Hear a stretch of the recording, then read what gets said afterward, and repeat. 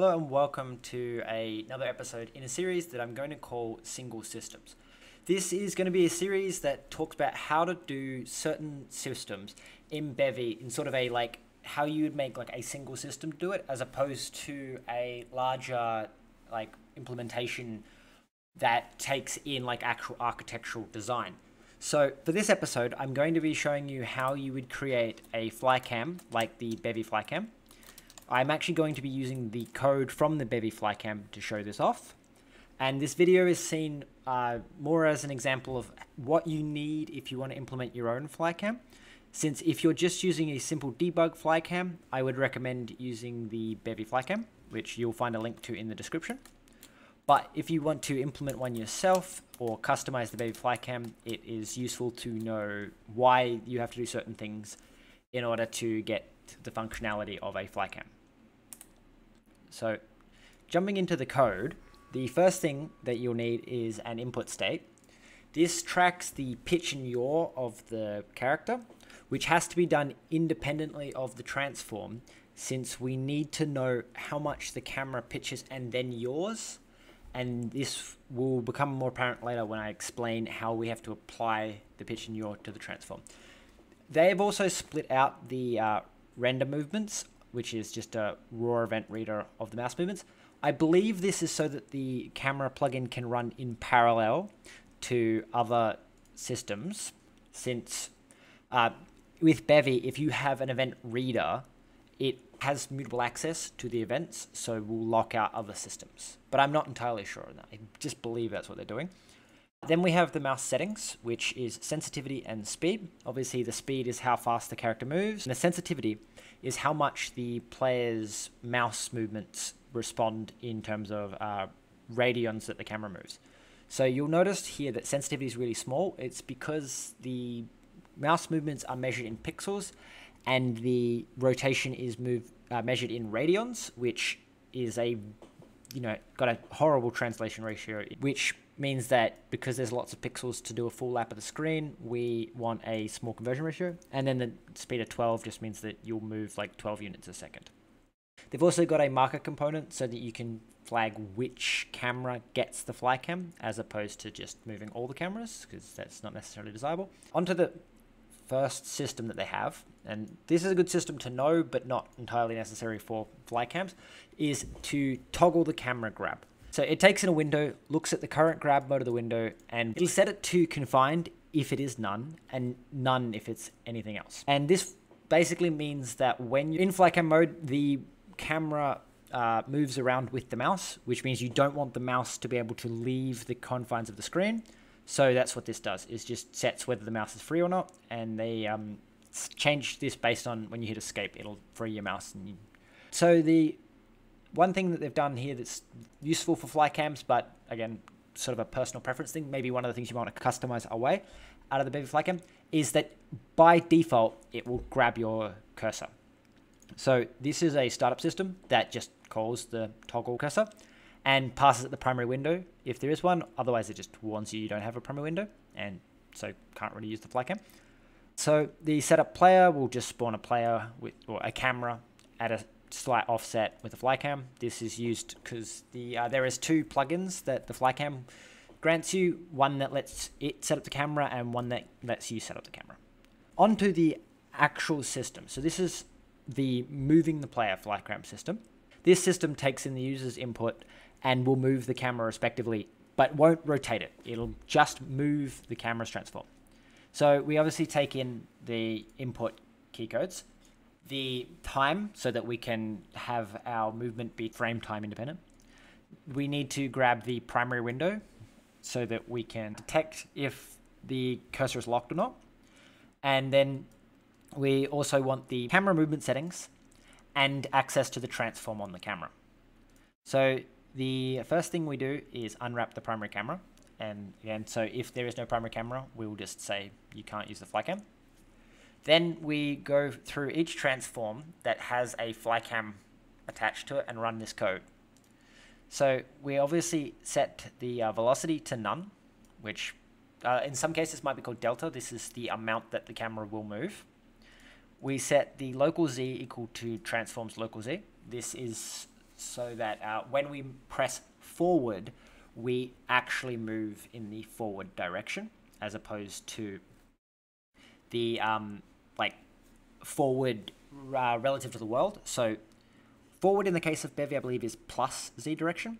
So if we cam- uh, turn our camera 180 degrees and press forward, we actually want to be going negative in Bevy's world space as opposed to positive.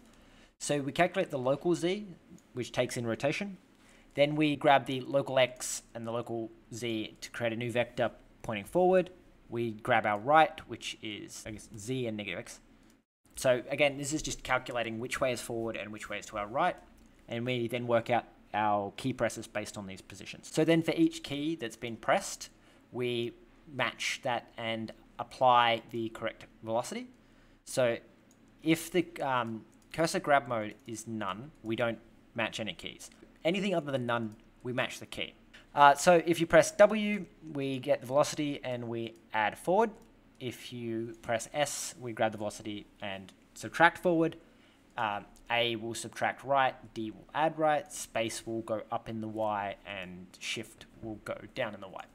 So this is where if you were making your own, you could customize your own movements. You could pull in the leaf Leafwing plugin to in order to um, allow for more customizable movements in that you can have um, like fly up, fly down, rather than having to have key code bindings. You could have controller bindings and all that added, which I might actually do after this video is go in and make a pull request to add like Leafwing Studio.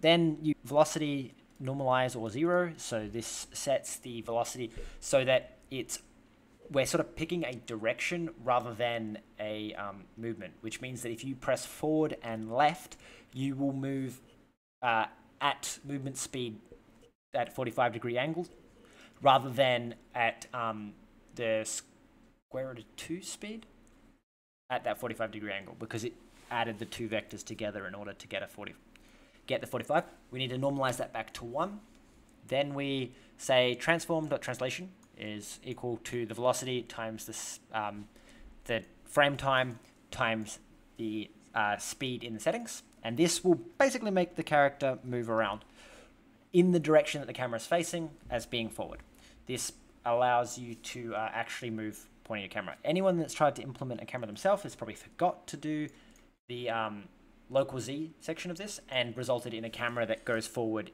uh, Z-wise even when you're looking to the left, which can be really confusing to operate. The next is the player look function. This is the uh, really interesting function because it takes in stuff that you may not know about rotation to be able to implement. So it's one of those things that you don't know how to do this, it's almost certainly going to turn to a Google search that you're going to have to do. So pay close attention to this one. So we, again, we take in the settings and the primary window, the input state, which uh, the camera's rotation basically, mouse movements, and a query for the transform again. So just the same stuff really as the last one, except mouse movements instead of uh, keyboard inputs. So we then again check that we have a primary window. Then we get our settings out and iterate through each transform applying the settings.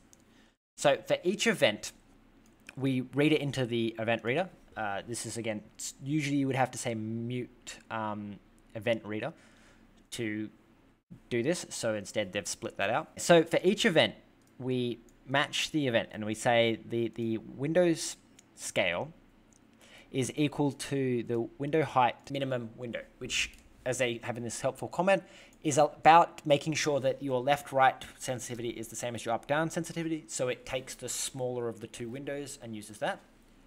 Then we say that the, the pitch is equal to the sensitivity times the events delta y times by the window scale to radians, and that the yaw is equal to um, minus equals the sensitivity times the delta x times the radian. So the event that's returned by mouse movement is the delta vector 2 of the xy movement of the mouse in pixels, I believe. This then converts to radians and puts it back into the pitch.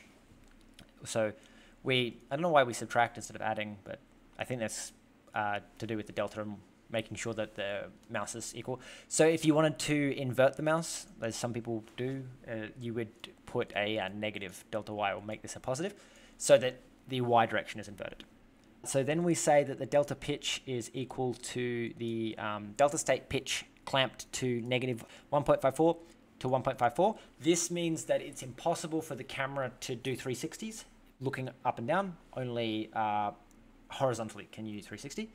Since if you point negative 90 degrees down, which is your negative 1.45 radians, or 90 degrees up, you won't be able to look any further back than that because you'll keep getting clamped. This just stops the camera from spinning indefinitely so you can't just keep looking up this is the important ordering of math that i'm talking about is we need to make sure that we apply the um, yaw and then the pitch. Since if you apply the pitch and then the yaw you can end up with the camera rolling as you uh, turn the camera. Uh, hopefully when I'm editing this, I will insert clips from the game when your pitch and yaw are flipped, and you'll see how like you as you um, if you yaw with a pitch of zero, it's all normal. But if you like pitch to 45 degrees and then yaw, you'll spin rather than um, turn, which is fun. So yeah, then we have our grab cursor toggle, which is a lovely concise system that just says if they pressed escape, toggle the window. So you can toggle in and out when you press escape. Then they have two plugins that the only real difference between them is one sets up the camera, the, the other one doesn't. It expects you to do that it initializes the mouse settings and the input state. So that's all you really need to set up your own uh, custom flycam. So I hope you've enjoyed this video and if you have any questions, leave them in the description and I'll try to answer them. And don't forget, I also forgot to mention, if you want to see any other specific systems, leave them in the description and I will go through and make videos on those kinds of systems. Or if you have a specific plugin that you want me to do this kind of breakdown of why they've done what, then also leave that in the description. And don't forget to like, comment, subscribe for more single systems. And I will see you then.